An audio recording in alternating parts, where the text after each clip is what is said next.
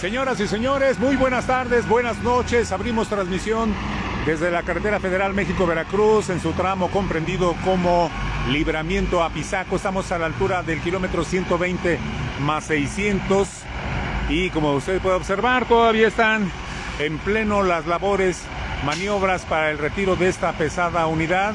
Es un tractocamión marca Kenworth de color blanco con azul y enganchado a una caja seca que pues hace aproximadamente más de una hora eh, por alguna razón vuelca y recuesta sobre uno de sus lados.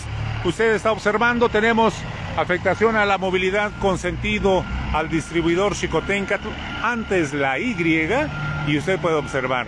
Aquí tenemos carga vehicular también considerable con dirección al oriente, o sea, hacia Huamantla.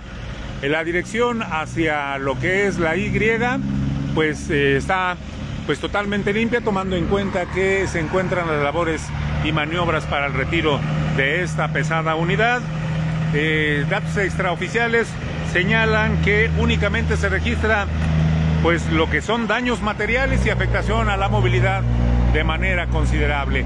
Con rumbo a Huamantla le recomendamos a que tome en cuenta que los dos carriles están eh, afectados por las maniobras de las que les referimos y también pues eh, lo que es eh, tenemos una fila de vehículos bastante bastante considerable que esperan avanzar por el acotamiento de esta la carretera federal México Veracruz a la altura de San Andrés Aguasguatepec.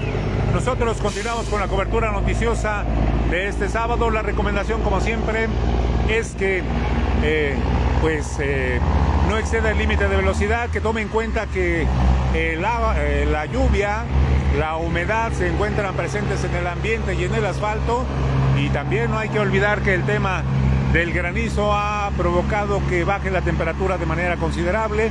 No exceda el límite de velocidad, atienda la indicación de la autoridad. Continuamos con la cobertura noticiosa de este primer sábado de junio. Buenas tardes, buenas noches, Tlaxcala donde quiera que te encuentres.